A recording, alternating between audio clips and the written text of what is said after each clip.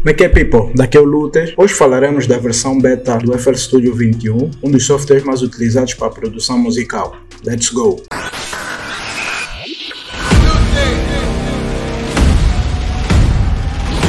Vou ser sincero convosco. No princípio pensei que fosse só mais uma versão com correção de bugs, um outro VST adicionado, mas não. Essa é a versão.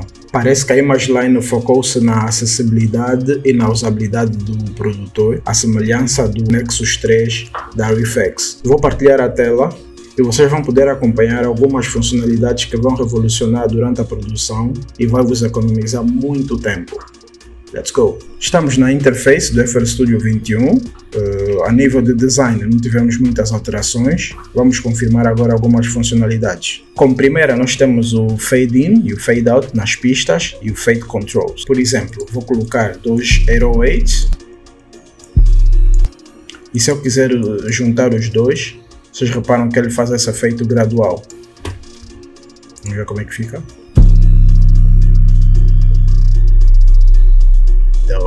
Deu, deu. Reparem que quando selecionamos essa opção e arrastarmos aqui no início do sample, ele faz esse efeito de fade in, ou mesmo no final. Inclusive podemos aumentar o gain do sample a partir daqui do clip.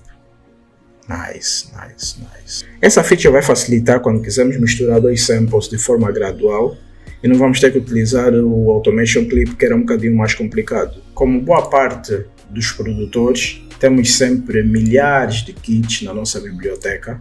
Com essa funcionalidade, nós vamos poder colocar nos favoritos, como por exemplo sample, vou colocar este este. E quando clicarmos aqui na estrela, ele vai mostrar todos os samples que nós favoritamos.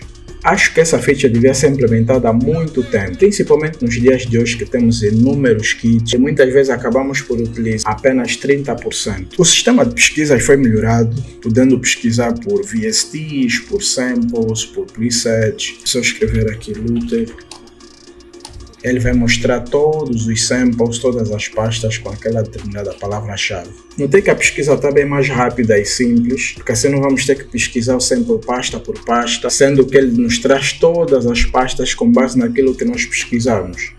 Vai economizar muito tempo. Outra feature é a preview dos samples.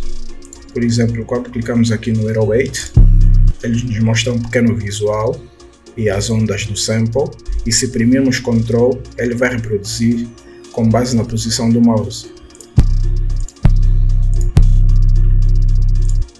Podemos inclusive aumentar, reduzir o volume do preview.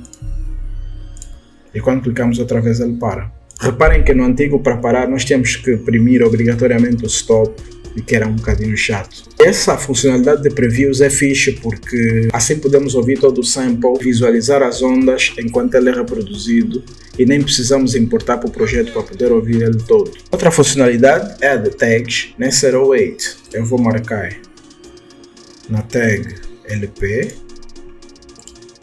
também eu vou marcar na tag LP e quando clicamos aqui nas, nas tags e clicamos em LP, ele vai mostrar todos os 08 que nós colocamos.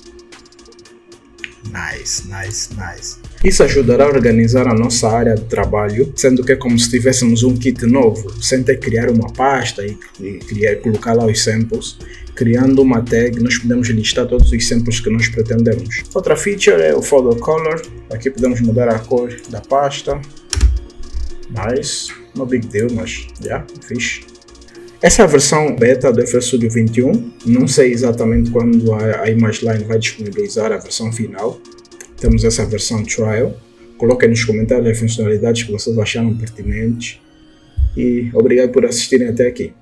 LP, valeu!